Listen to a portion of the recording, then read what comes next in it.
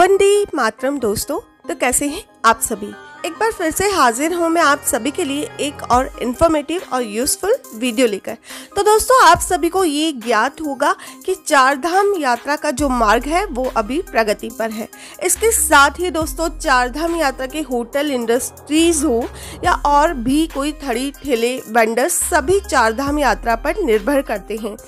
इसके साथ मैं आपको ये भी बताना चाहूँगी कि अगर यात्रा खुलती भी है दोस्तों तो यात्रा फ़ेज़ वाइज ही खुलेगी। पूरे भारत के लिए एक साथ यात्रा नहीं खुलेगी। यदि मैं बात करूँ केदारनाथ वैली बद्रीनाथ वैली चाहे वो यमुनोत्री हो या गंगोत्री हो, इन जगह की मैं यदि बात करूँ तो जो यहाँ के होटल्स हैं, या चाय नाश्ते की दुकानें, या खाने पीने के साधन हैं, अभी वो सेटल नहीं है।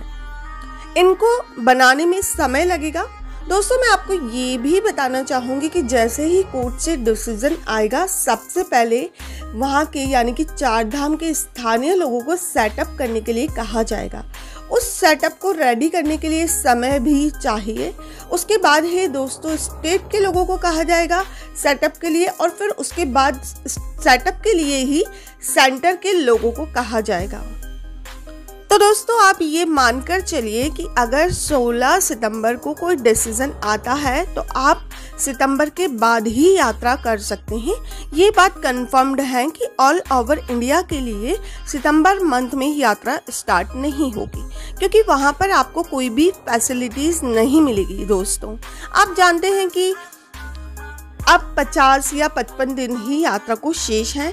तो जो कारोबारी व्यवसायी हैं, वो इतने कम दिनों के लिए अपना सेटअप रेडी करने से तो रहे, क्योंकि छः महीने की जो इनकम वो एक महीने में कैसे जनरेट कर सकते हैं? वैसे भी government limited of numbers guest he allowed करेगी।